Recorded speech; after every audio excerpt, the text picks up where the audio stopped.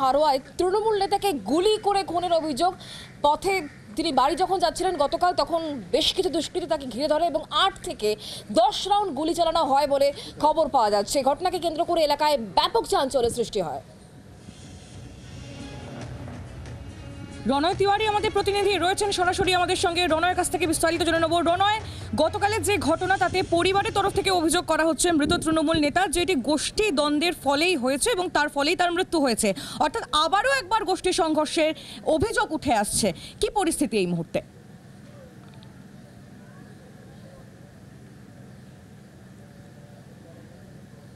দেখো, বিভিন্ন জেলায় দেখা যাচ্ছে পঞ্চায়েতের বোর্ড গঠন হচ্ছে এবং সেখানে কোথাও না কোনো রকম ঝামেলা, অশান্তি এবং গুলি চালানোর ঘটনা এবং সেখানে দেখা যাচ্ছে তৃণমূলের পঞ্চায়েত সদস্য গুলিবিদ্ধ হচ্ছেন বা খুন হচ্ছেন।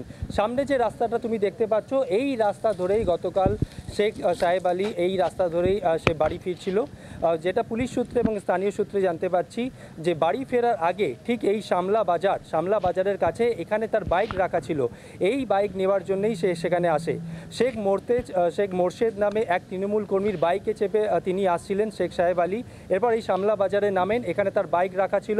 বাইক নেওয়ার সময় দেখা যায় বেশ কয়েকজন যুবক বলা যাচ্ছে দুষ্কৃতী তারা, অভিযোগ তারা দুষ্কৃতী তারা শেখ সাহেব আলীকে ঘিরে ধরে। এরপরই তাকে লক্ষ্য করে এলো পাতারিভাবে গুলি চালাতে শুরু করে। এমনটাই অভিযোগ। তবে এ পুলিশ সূত্রে যেটা জানা যাচ্ছে এই এলাকা অত্যন্ত জনবহুল এলাকা। রাত্রি সাড়ে দশটা থেকে এগারোটা নাগাদ ঠিক এখানে। ক্যামেরা পার্সন তরুণকে বলব ছবিটা দেখানোর জন্য এই যে জায়গা এখানে ক্যারাম বোর্ড খেলা হয় রাত্রি সাড়ে দশটা থেকে এগারোটা। সারা রাত এই পথ ধরে সাধারণ মানুষ যাতায়াত করে।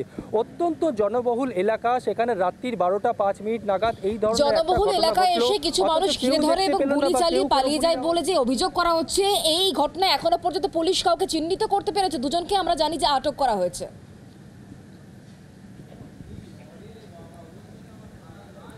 একদমই দেখো, যে দুজনকে আটক করা হয়েছে, সেই দুজনকে জিজ্ঞাসাবাদ করা হচ্ছে। এর মধ্যে অত্যন্ত গুরুত্বপূর্ণ ব্যক্তি শেখ মোর্শেদ, যার বাইকে চেপে শেখ সাহেব আলী এখানে আসছিলেন, অর্থাৎ এই শামলা বাজারে বাইক নিতে আসছিলেন। এই শেখ মোর্শেদকেই এখন জিজ্ঞাসাবাদ করা হচ্ছে।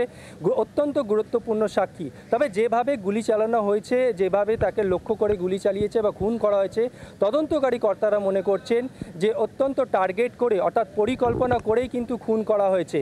খুনের পেছনে তৃণমূলের গোষ্ঠীদ্বন্দ্ব রয়েছে নাকি অন্য কোনো কারণ রয়েছে পুরোটাই কিন্তু তদন্তের বিষয়। এই মুহূর্তে আমি তোমাকে সামনের ছবিটা দেখাবো। ক্যামেরা তরুণকে বলব ছবিটা দেখাতে। হারোয়া থানার ইনভেস্টিগেশন অফিসার তারা এখানে রয়েছেন তারা ঘটনাস্থল পরিদর্শন করছেন। এলাকার বাসিন্দাদের সঙ্গে কথা বলে জানার চেষ্টা করছেন। গতকাল রাতে কেউ বা কেউ কেউ দেখেছে কিনা এই বিষয়ে কেউ কোনো কিছু শুনতে পেয়েছে কিনা? বাংলার আওয়াজ বাঙালির আবেগ। জি চব্বিশ ঘণ্টা।